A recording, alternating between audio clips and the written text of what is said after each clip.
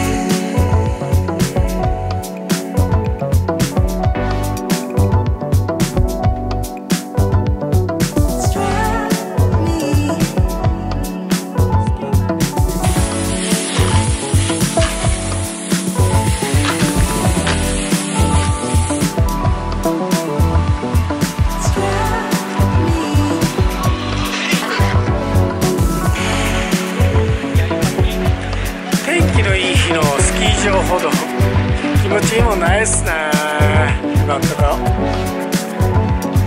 こということで平日なんですけど楽しんでます。